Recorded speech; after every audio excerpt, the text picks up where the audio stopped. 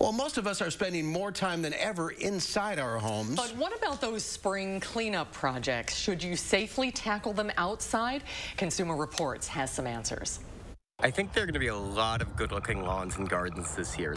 Consumer Reports' Paul Hope says you can practice social distancing and get your lawn prepared for warmer weather. People are just going crazy inside looking for any project to get outdoors with. First and foremost, eye and hearing protection are a must. So even in the warmer weather, you want to skip shorts and sandals. Lawnmowers, string trimmers, even leaf blowers can kick back debris and cause an injury. You also want to make sure to have solid closed-toe shoes for good traction. If you didn't rake in the fall, now's the time to get rid of those leaves, a job anyone in the family can help out with.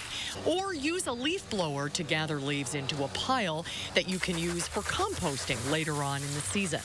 Or use your mower to mulch leaves right onto your grass. It will feed your lawn and reduce the amount of fertilizing it needs. Consumer Report says for more outdoor spruce up ideas, look beyond your lawn. You can use a pressure washer to clean lawn furniture, your walkways, and your deck. You want to use hearing and eye protection, long pants, and closed-toed shoes, but it's also extra important to not use one on a ladder or steps because the force can blow you backwards.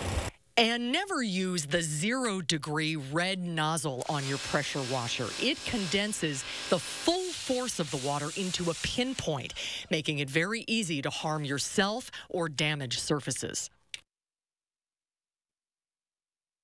Wow, it's powerful. if you're looking for more tips uh, and projects, Consumer Report says take a look at your walkways and driveways. Winter weather can really wreak havoc on those areas. To keep out water, you can seal any new gaps you see with concrete crack filler.